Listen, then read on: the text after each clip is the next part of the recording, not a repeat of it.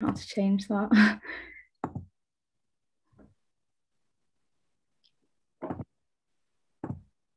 um, we might just have to get started and then I'll try and have a look at that in a bit. Um, so yeah, so we're Girls Against, bit of an introduction. Um, I'm one of the co-founders and Georgia, do you want to introduce yourself as well?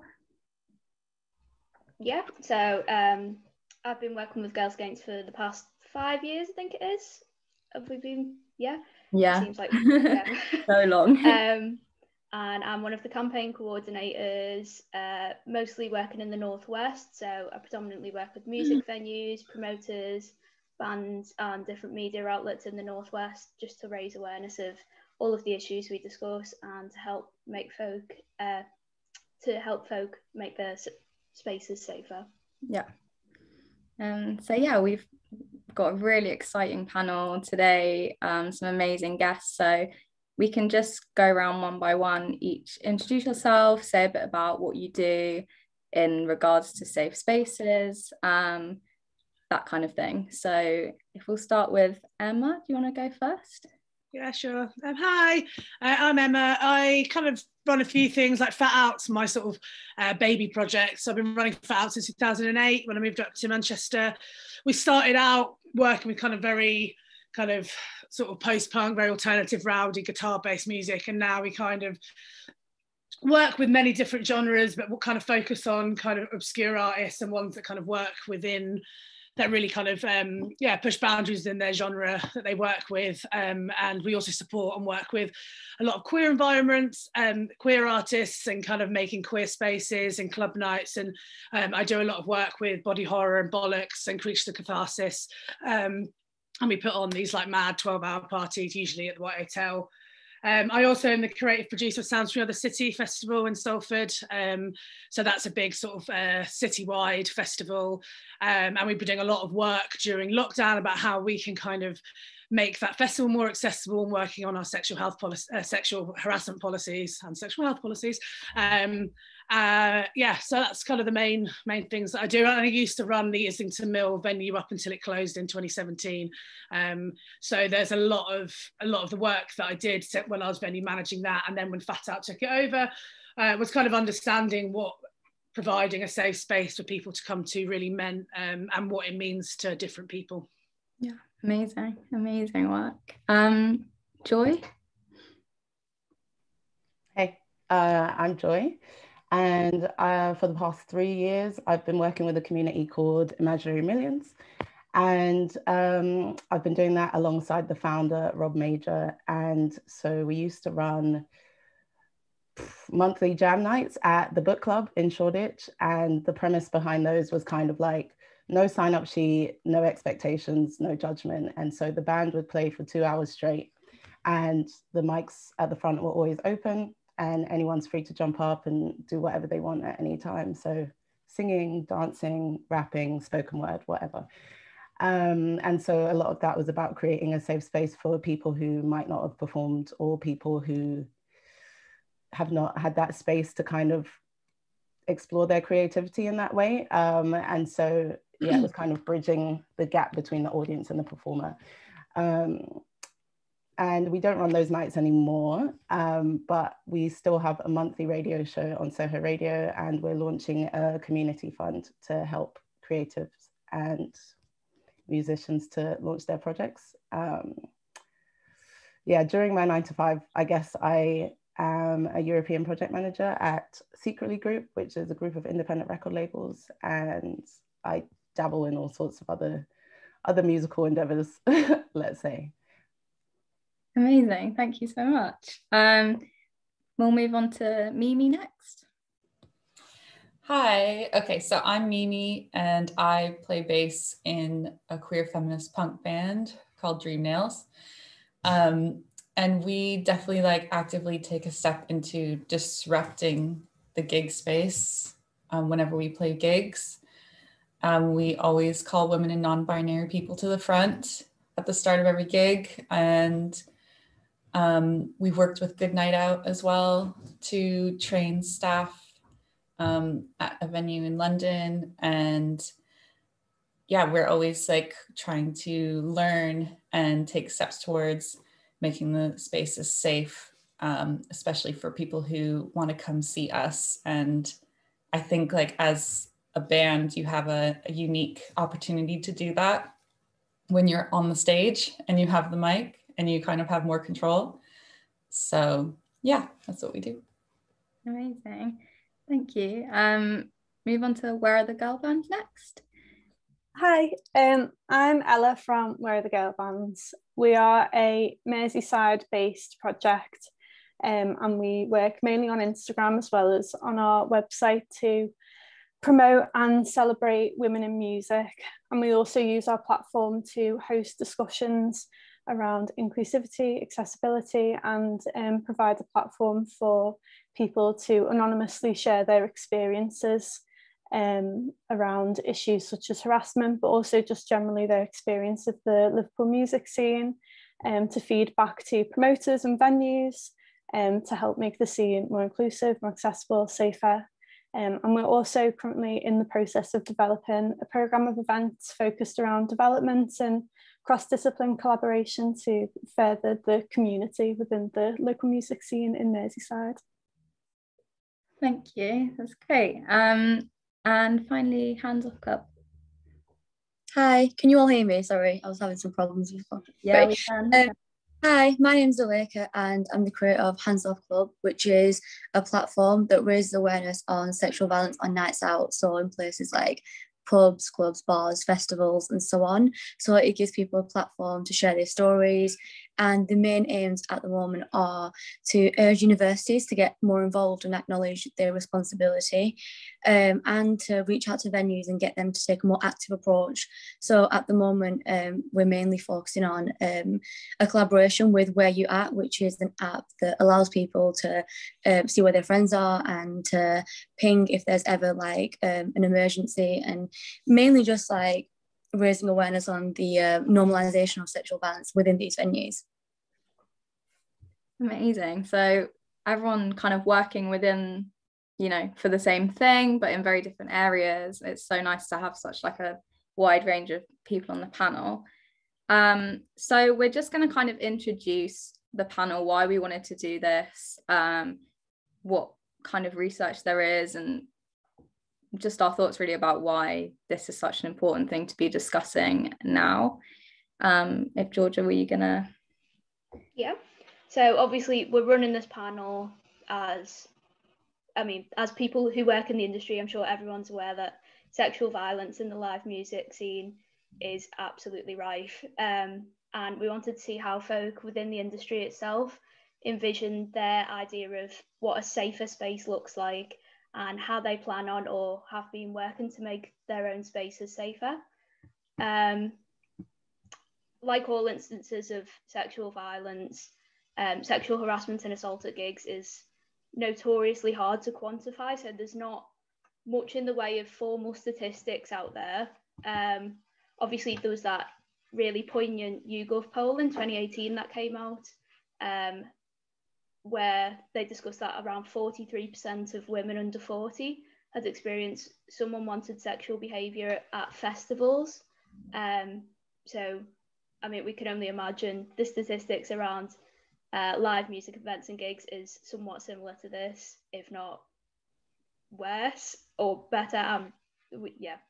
Um, the UK live music census found that only a third of all music events um, all music venues have some sort of um, anti sexual harassment uh, policy in place. Um,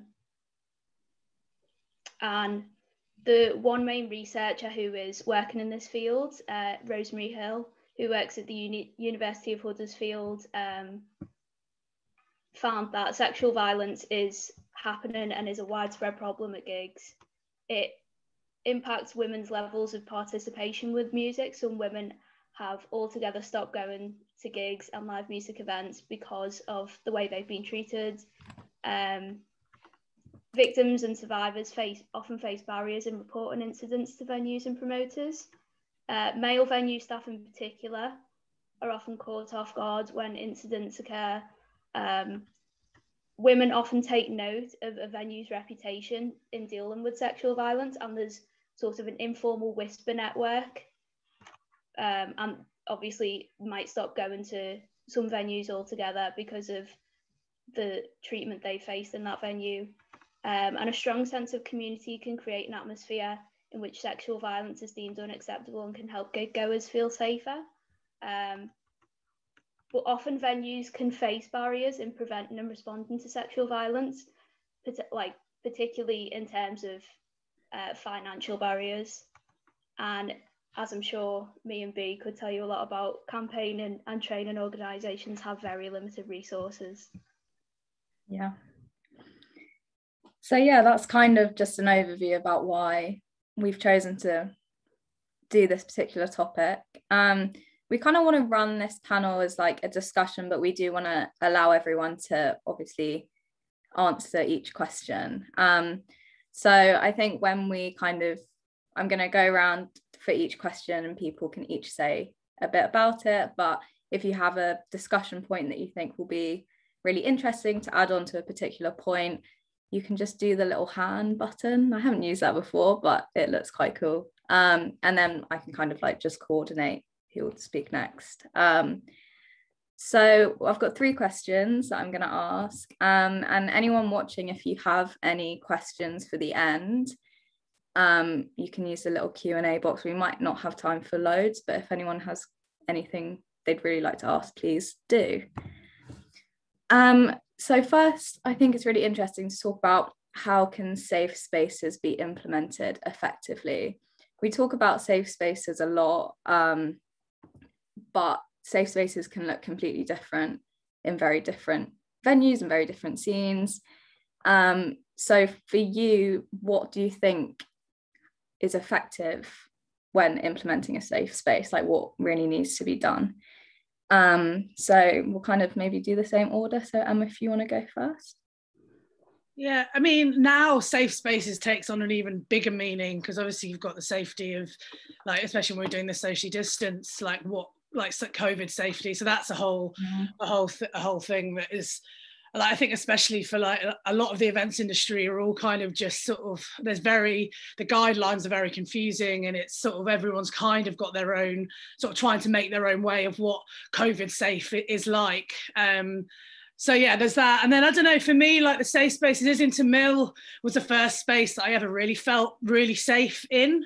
And I think there was just the communication between the security, um, the people that were coming there as well. Like it's it's like I like door policies and all those kind of things now are kind of very relevant now. Like I've been sort of done now. Back in the day when I was running the venue, we didn't really have that. Like I didn't have any really um, sexual harassment training until this kind of past year because it's always been working from event to event.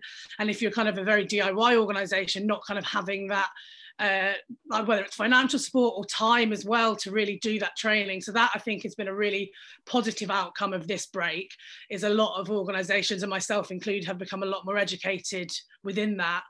Um, a lot of the queer nights that I run, so like Grace and Decency, for instance, like we did have a, a door policy. We, but then with with with that, we we actually had a, um, an account of sexual harassment at that event, and we really were trying to communicate this was a safe queer space, um, and it does just take one person who ignores that, um, and it was reported to us um, after the event as well. So that was quite a difficult one to deal with.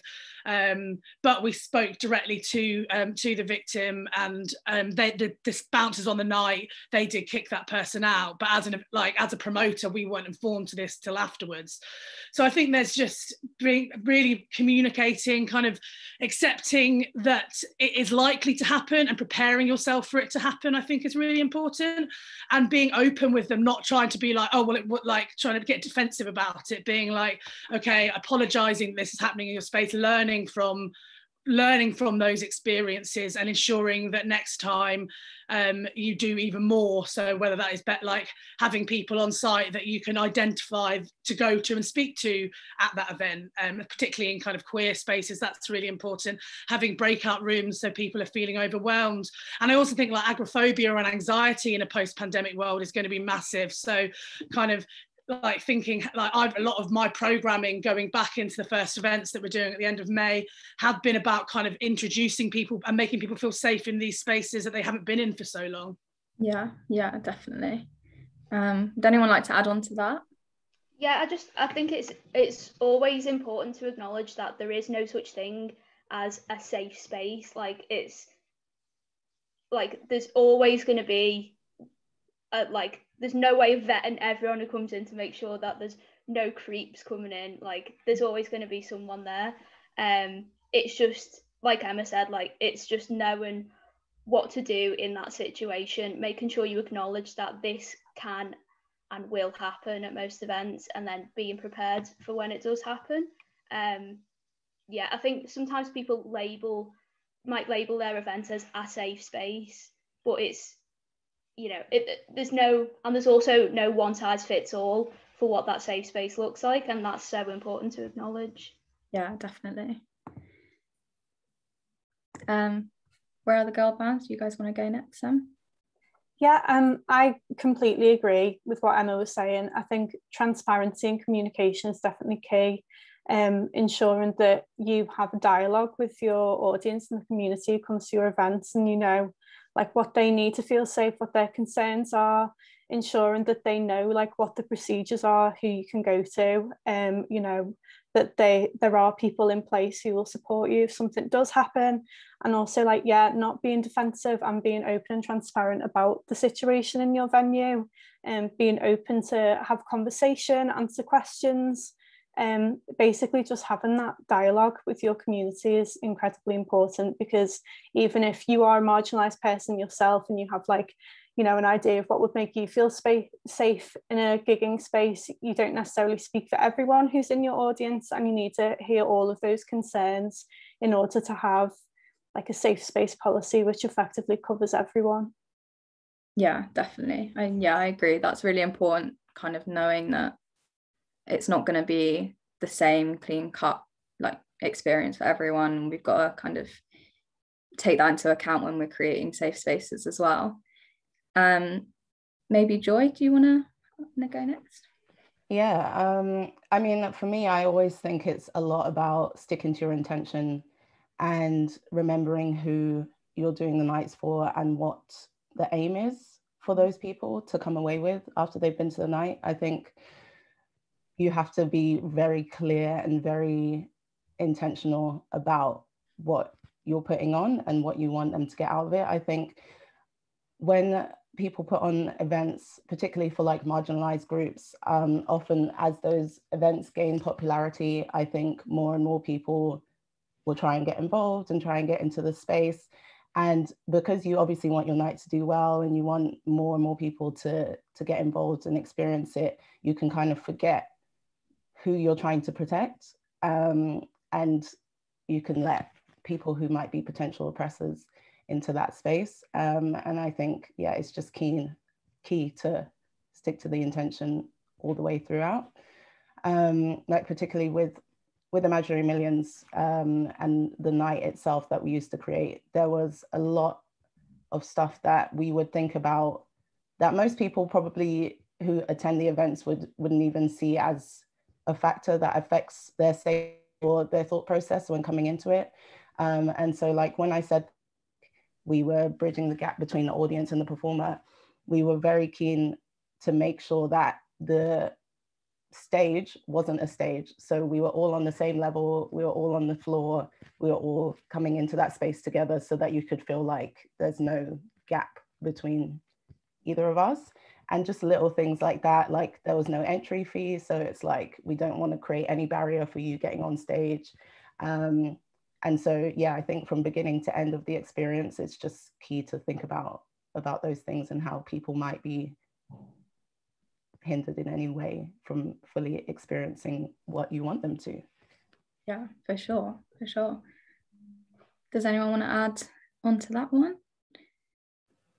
sure um yeah i think it's my turn next anyways. Um, yeah i really agree with what everyone's saying. And it's so hard to say what a safe space would look like, especially in gig spaces, because they're not they're like dark and you're in, in close contact physical contact with strangers and things like that. It's like not the safest space to begin with. So doing all these things doing everything you can um, like we've done i think good night out is amazing and training the staff. Um, we've tried to you know have gender neutral and accessible toilets and pay what you can tickets and all that. And i think it's you know it, i agree it is like communication with the staff and it also has to do with like who is running that venue. And i'm i know like some places we've played we've put gender neutral toilet signs up and we like told them we're doing this and like this is what we do. And they've just like come and taken them down. And like you don't feel that kind of like support from the venue itself. So it's hard to be the band to say like oh we're inviting all these people like saying it's a safe space and then the venue doesn't have your back either. Mm-hmm. um, and you know we've we we've canceled gigs and we haven't played gigs because the venue had a bad reputation or like people have messaged us and said did you know this happened? And there, there's allegations against the staff at this venue. And just i guess just trying to be vigilant with that. And we have like you know emailed certain venues like that and they've just we've said okay we'll play here if you get this training. And then you know sometimes they don't.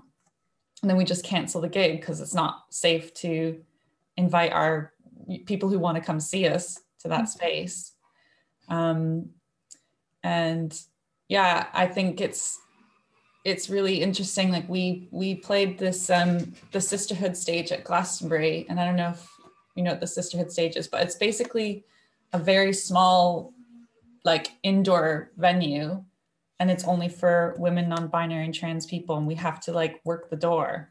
And it's just like guys trying to come in and and take over the space. And it's like, this is the one space that's not yours. Like, go somewhere else. You have the rest of the festival, you have the rest of the world. It's like, leave us to this one space. Yeah. And it, it's really, yeah, it's really difficult to deal with that entitlement as well. Mm-hmm. So it's it's just a complex thing. You have to try and find our way around. Yeah, yeah, definitely. Um, yeah, where are the girl bands you guys go? I was just going to add to that and say, like, I completely agree. And I think if you're someone who is like a musician or a promoter, um, kind of putting pressure on venues to ensure that they do get that training and making sure that you don't stand for like negligence from the venues.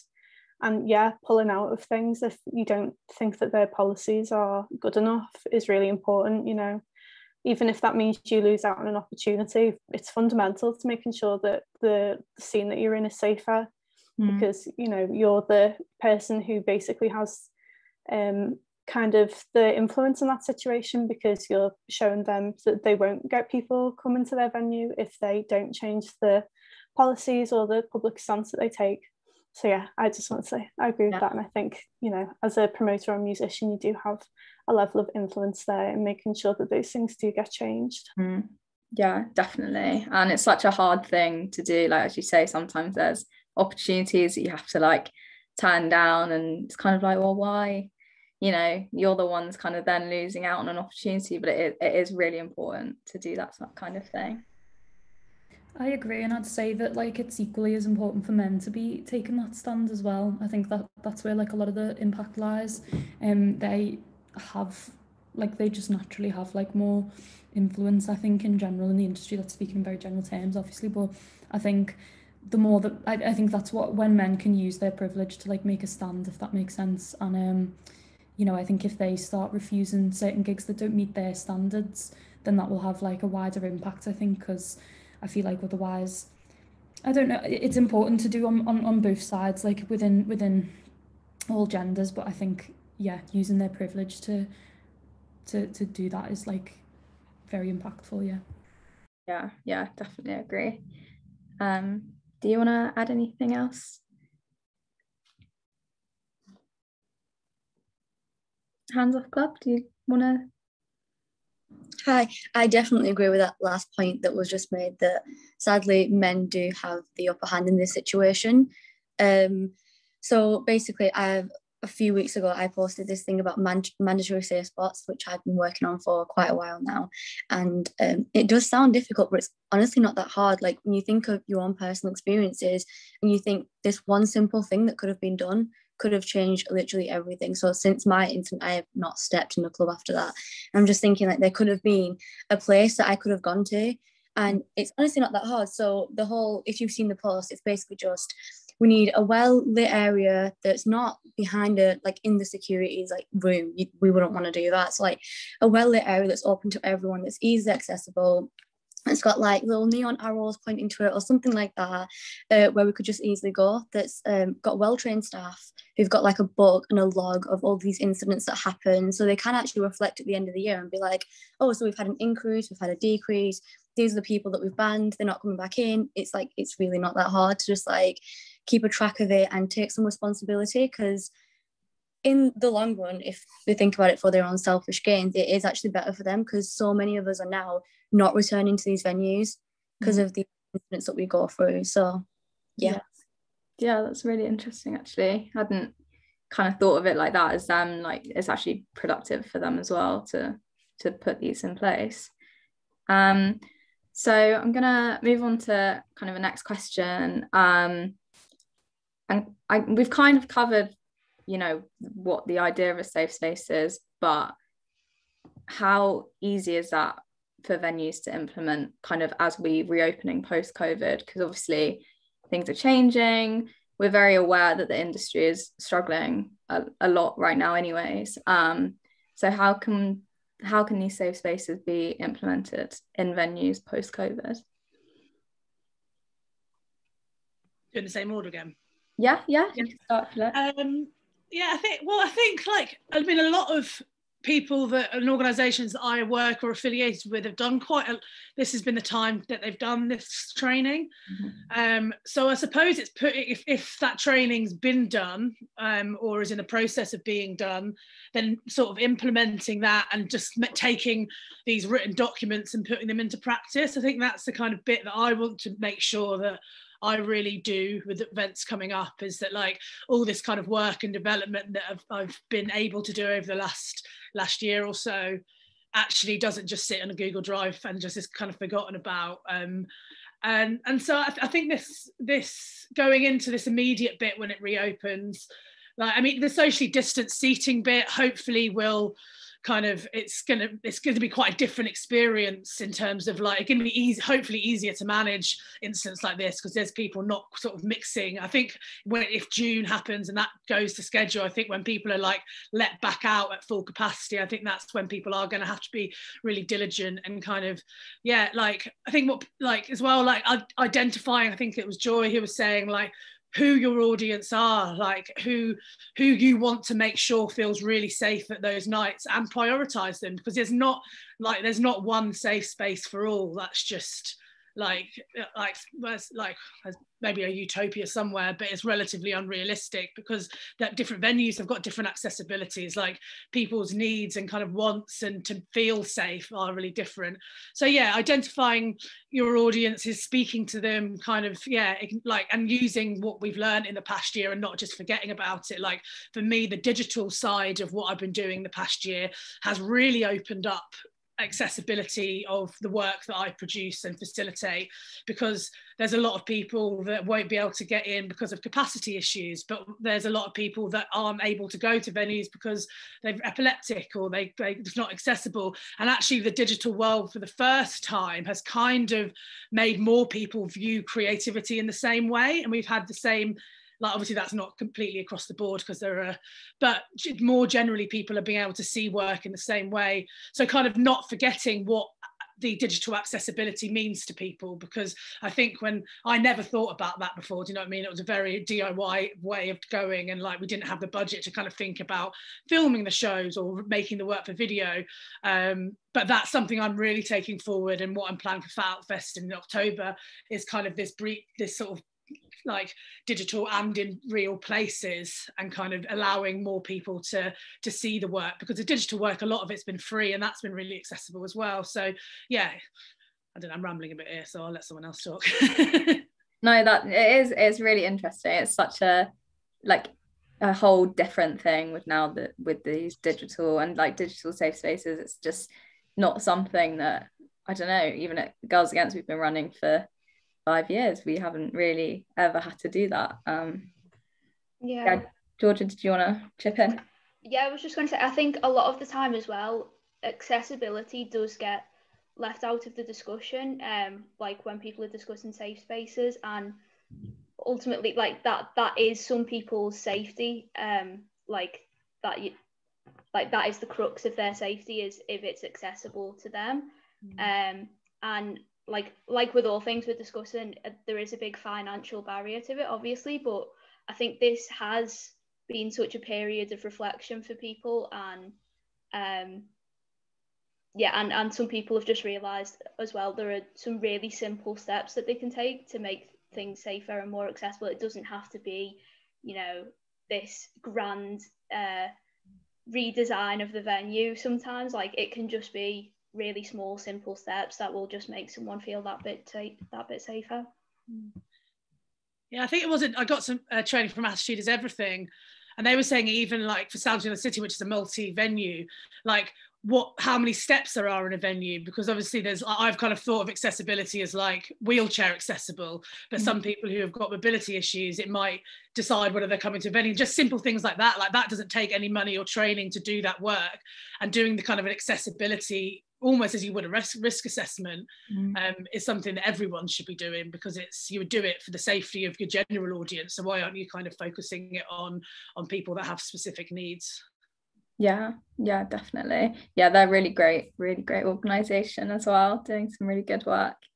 Um joy do you want to yeah um i guess well in terms of like covid safety i feel like venues have had a whole year of opening reopening closing and all of that um, to kind of tweak the best way to suit their customers um, and to implement those safety measures as well and i think as we move I, am caught, like I don't want to say out of COVID because I think that's going to stick with us for some time. But as we move into like more open spaces, I think it's key for venues to still keep as many of those safety measures in place um, as possible, and maybe not in a mandatory sense, but just in a way that makes people feel more comfortable. So whether whether that's you know, reducing capacity in their venues, you know, a venue that might say that um, we could fit 2,000 people in here, you might go down to 1,750 just so that there's more breathing room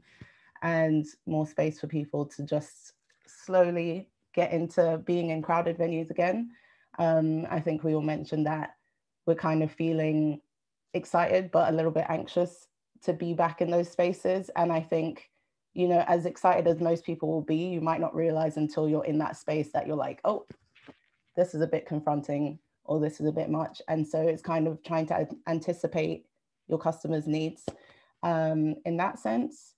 I think, yeah, we've all mentioned accessibility as well. I think that's key. And for a long time, I feel like we've been building up to this as well. Um, prior to COVID, I feel like, you know, you've been seeing more British Sign Language interpreters at different music events or in different spaces, or you know more listen backs or look backs or transcriptions um, of events and panels and things like that.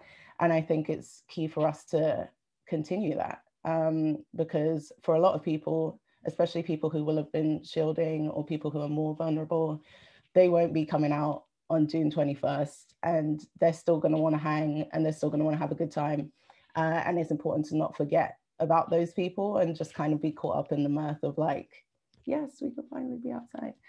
Um, and so, yeah, I think, you know, like how Boiler Room have been having online sets and, and things like that um, throughout lockdown, you know, it's not it's not ideal. It's not the same for those of us who like clubbing and going to raves and things like that. But even just being able to see that knowing that your friends might be there or being able to watch it at home and watch it back and kind of experience it with them that's still just as meaningful so i think to bring it all kind of back to a point um, i think it's just key for venues to think about the people who might not be as able to come into their spaces as we once might have.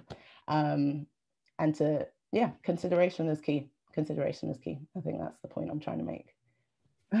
yeah, I know that. I, I mean, definitely it's it's a new way of like kind of watching events, but as you say, like I think it's so important for people who have actually found comfort now in being able to like enjoy that without having to physically go to a space.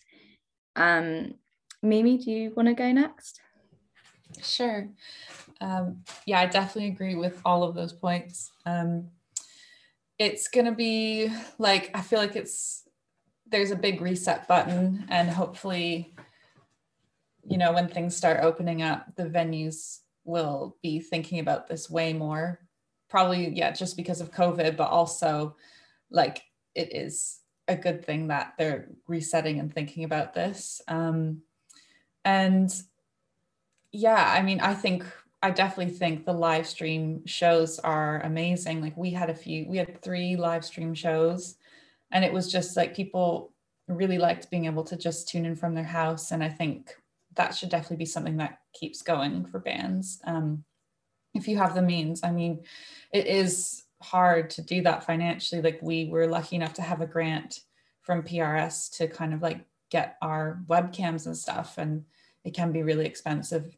Um, and I mean, a lot of these things, like like everyone was saying, like to make venues accessible is it, it can be expensive. Like um, when when we know like a venue doesn't have like an accessible toilet or something, we'll try and like contact the places around it and say like, oh, can can people go into this gig tonight use your bathrooms or something like that. And you know as we, are like a self-managed band and stuff we don't really make money. We don't get paid for doing it. And it's it's hard sometimes when you know we did do a, a crowdfunder for a bsl interpreter like for our our main london show that we were doing and stuff. And it would just be you know nicer if this was like the normal thing to do and if like bigger bands did this as well especially like bigger bands who call themselves like feminist bands and stuff but aren't actively like making their gigs accessible. So i don't know hopefully like when things start opening up that's something they're thinking about. Um yeah. Yeah definitely. No i agree. It'd be great to see kind of this just becoming a norm and yeah as you say like not just kind of the people like you know all of you guys doing amazing work but actually people above that who have the capacity and the money yeah. Mm-hmm. um where are the girl bands do you guys want to go next? Sure yeah um we're actually presenting our very first events really um over the summer like physically um a, a venue in the Wirral um opposite Liverpool called Bloom Building have um, very kindly like offered us um, their space and so we'll be hosting various events there over the summer. And actually we've we've been putting a lot of thought into that idea of like reopening gradually um, after covid and, and this idea that like you know although you know it, it, it's it's important to ease people in because although it's like legal to sort of do whatever you want now i think you've got to bear in mind that like obviously not everyone will be completely comfortable. And i think actually the whole pandemic just sort of with, with without disregarding everything else to do with it, but it's been an opportunity in this sense for venues to like step back and reassess their policies and so on, have training as Emma suggested before, um, but also to reconsider like the gig space um, and what it stands for and whether we do want to return to like more traditional like for not even traditional just like um the the normal standard now is to like stand around holding a drink.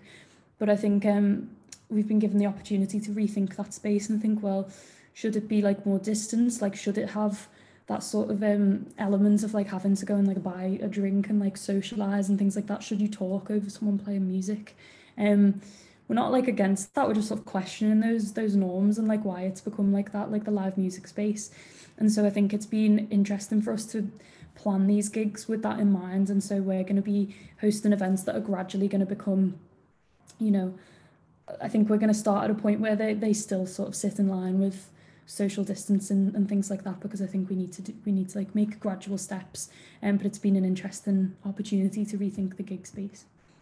defo and like even just things like the involvement of alcohol in gig spaces in a sense that you can't really go to a gig and not have the involvement of alcohol and that kind of is an accessible an accessibility issue in itself because not everyone feels comfortable um, in those kind of environments and it you know presents issues to certain people um, and like presenting alternatives to um, the kind of standards of like a dark room like I know Mimi was saying earlier like it, it if you know you have your own anxieties about going into a dark space where you're in crowds of people and everyone's you know drinking and there are substances involved there aren't really alternatives to those kind of situations um, so maybe now is a time to think about um, alternatives and maybe asking like the communities that you work with like what would be your ideal live music experience? Like if you could just you know maybe you would want to like i don't know lie down and listen to music or you know just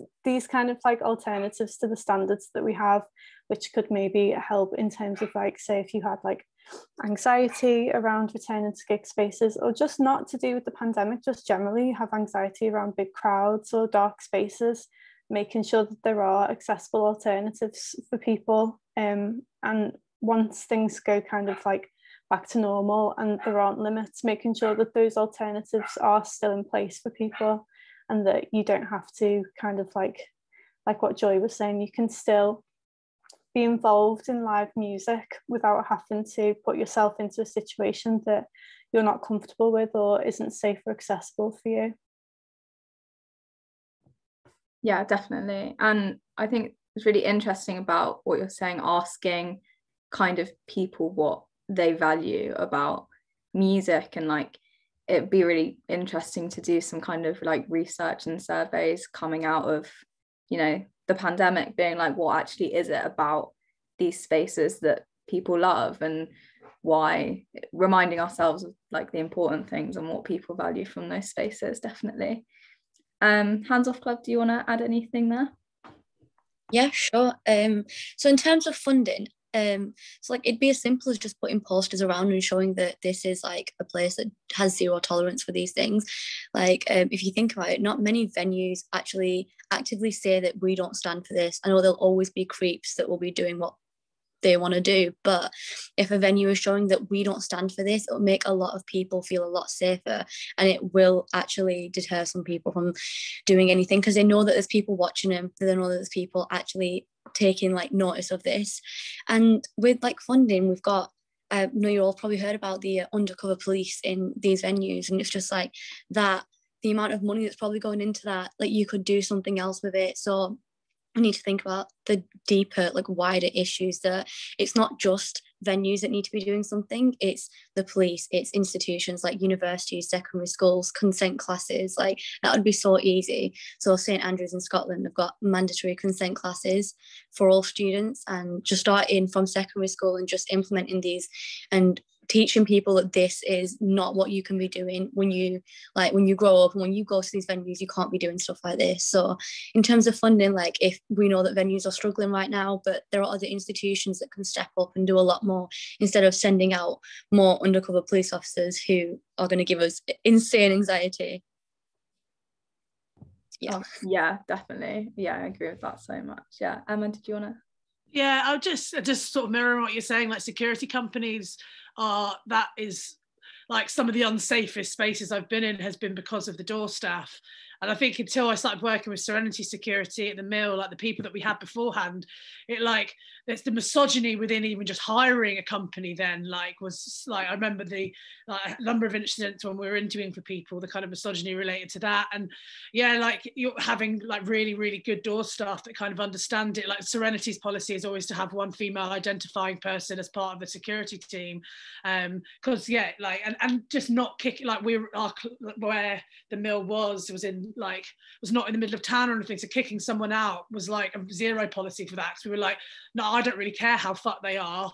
If, if, if kicking someone out when they're intoxicated onto a street even in the center of town like that's really dangerous. So kind of having like the security teams doing this work is vital as well because venues and promoters can have all the best intentions but if the people that are actually looking after you on the night aren't making you feel safe and aren't doing the right things to kind of enforce what your policies are, it's kind of pointless.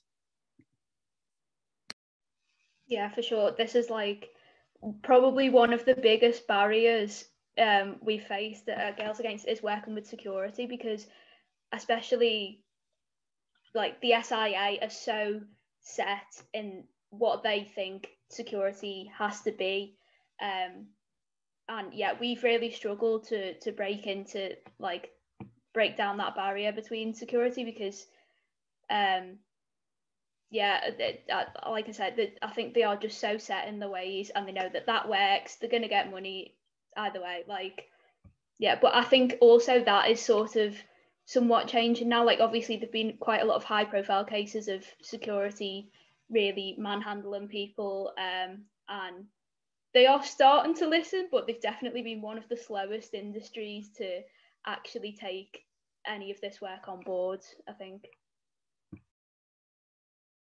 Yeah, definitely. Yeah, just to, to echo that. I mean, we've had we since we've started doing this campaign, we've tried to get security involved, and yeah, it's very it's a it's a difficult task, let's say. Um, um, did you got your hand raised? So do you want to?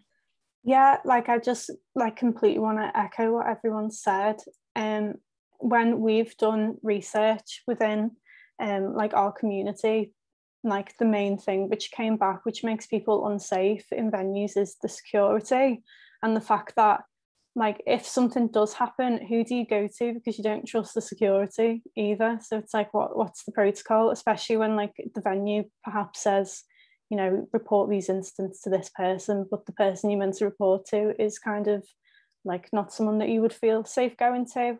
Um so i think yeah like completely agree and i know that is an issue that's like not necessarily in the hands of the venue themselves because even if the venue has what seems to be a great policy if at the end of the policy you have to go to someone who you don't trust the policy falls through basically yeah definitely. I'm i think it's it's so hard kind of navigating the different groups that are involved in creating these spaces because yeah as you say like you can have a venue on board and you can have the promoters on board and then there's just kind of one external security guard who's not and it it falls apart. So it's yeah it's really important. Um we have kind of 10 minutes and there is a question that's been um asked. So i'm going to do that at the end but i want to kind of talk about maybe some positive implementations of safe spaces just kind of if anyone wants to chip in with doesn't even have to be through your work but have you been to a really like successfully implemented space where you felt really safe or have you done that yourself through your own work? Just kind of giving them like a shout out and how that was done really uh, I mean, for me, Islington Mill has been my was the first introduction to a safe space and is my little euphoria now. And it and I think it like, yeah, it's just always been for me a very like without even really kind of trying to be a safe space it just kind of has. And now it's kind of identifying more about its queer history. And because even when we had the club it wasn't like a queer space or, or labeled that. It just was that. And it and so yeah and i think like we the communication we had when we when we met serenity security that was just a match made in heaven because we could have a really honest conversation with them and being like that there are some nights our club nights when people are going to be on drugs and we want like like that I want to make sure like that's going to happen. There's little, obviously, we could do what we can to, but there's that is a part of club culture, and we could have a really honest conversation about how we want to deal with these people. Like it's not like if they're too far don't just kick them out those kind of things. So yeah i think yeah for me islington mill and like the white hotel as well have been kind of where i felt really really comfortable. Um and yeah i want to shout both those spaces out because i love them yeah yeah amazing. Anyone else have one who'd like to? Yeah um i guess the first time I was at an event where I could really see like they thought about all of the touches and all of the ways to make it right for the people they were targeting was actually Black Girl Fest, um, which started, I think, in 2018. And the most recent one that I went to, you know, as soon as you enter, everyone that's serving you, everyone that's on the team is a Black woman or a Black person that's non male identifying. And you know, the music that they're playing throughout the day is all by Black women. Um, and it's just subtle things like that, like all the speakers are Black women, all of the people who are contributing to the panels and things like that. So I was like, that's really encouraging to see um, where that's not normally represented elsewhere. Um, and so, yeah, things like that were cool. I think the first time I went to a space that felt safe but never really identified or never really advertised himself as a safe space was uh, the group called Ladies Music Club. I don't know if um, everyone's familiar with them, but they've been around for a while now. And I think I first went to one of their meetings in like 2016. And I was just starting out um, in the music business and like trying to figure out what I wanted to do and trying to find my feet. And yeah, I think they were just really helpful and played a pivotal role in me being where I'm at now. Um, and just kind of made it an open forum for you to speak about your experiences or hear people who had experienced different things within the music industry as non-male identified people. Um, but yeah, there are a lot of safe spaces at the moment, and I'm not gonna list them all, but there's a lot, there's a lot popping up, which is great to see. Yeah, thank you. Yeah, they sound that sounds amazing. I hadn't heard of them before. Um, any others? And Georgia, feel free as well if you want to talk about any. I just sort of yeah, I, I wanted to echo what Emma was saying before as well. Like, and I think interestingly, some of like the the places I felt safest haven't yet necessarily labelled themselves as a space safe space. Mm-hmm. And I don't know the best way to put it, but some of the best, the most safe spaces I've felt have been also some of the most debauched, if that makes sense. Like I know like Emma uh, has like helped put on like body horror and you've been involved in bollocks and stuff. Um, and like bollocks is like one of the safest I've ever felt at a space. Like, you know, um, it's allowed me to express myself in a way that I wouldn't normally feel comfortable with. Um, sort of present myself more queer than I would normally. Um, and you know, go wearing ba- barely any clothes, but also feel really safe. Um, and yeah, it's it's quite interesting that relationship as well. I think um, that yeah, sometimes the most like hedonistic spaces are the safest, um, and I think there's something in that. I think because they have to a lot of the time think about that more. Mm-hmm. Um, yeah. Yeah, definitely. Yeah, that's really it's really interesting kind of idea of labeling something as a safe space but actually the ones that kind of just do that naturally and as we were talking about earlier like having that as a norm like it's it should be it's not like a kind of oh we are a safe space like everywhere ultimately should be um yeah hands off club do you want to go as we're speaking, I just got a notification um, saying social distancing not to be not needed at big events. Boris Johnson just said, yeah. so, yeah. Great timing for that. yeah, it's. It, I mean, it highlights like kind of the topic of this conversation is so you know so relevant at the moment. Definitely. Um. So we literally just got a couple of minutes. I did want to um, the question that someone's asked um, they said, how do you promote or protect and create a safe space venue for the LGBTQ plus community? What advice would you give? Um, so I guess anyone who's kind of put on those promotion or protecting those groups of people, any advice that you'd have for, I guess, setting up kind of their own space. I think that's Um, yeah, I think like the spectrum of LGBT plus people, even within that, is going to be difficult to find a safe space that is going to be like like kind of for say say to everyone's like the trans community. It's really important from speaking to my trans friends that they have spaces that is for them. And so yeah, I think you've just got to sort of what we've been doing. Like I work particularly with a lot of like sort of alternative queer audiences and communities, a lot of fetish um, nights and those kind of things where what George was saying, like for me, accepting my body has come from being in those safe spaces. But then some people would probably enter like a sex or fetish club and feel really uncomfortable. So i think it is just like yeah be defining what your night is and what it is to it and how you can make those people feel safe. Because yeah like a sort of very sort of cis male gay night is not going to be inclusive for a trans community. Um, and, and vice versa do you know what i mean? Like it is important that that cis gay men have those those spaces that they feel super comfortable. Um, and the same for the lesbian community and bi do you know what i mean? There it's a very like it's a huge spectrum of people um, so yeah, it's just kind of define. For me, it's kind of trying to define who you want to make feel comfortable in those in your space in your night. Yeah, definitely.